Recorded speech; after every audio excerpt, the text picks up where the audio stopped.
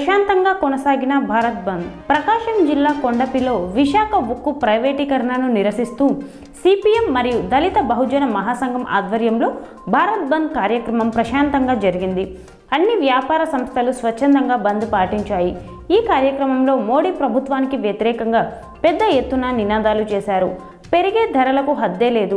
మోడీ ప్రభుత్వానికి సిగ్గే లేదు అనే నినాదాలతో కొండపి నగర వీధుల్లో మారుమ్రోగాయి ఈ కార్యక్రమంలో సిపిఎం మండల నాయకులు గుంటూరు మస్తాన్ మరియు వివిధ ప్రజా సంఘాల నాయకులు పాల్గొన్నారు.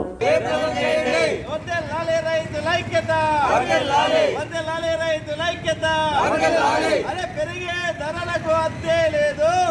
వాడికి బుద్ధే లేదు. పెరిగే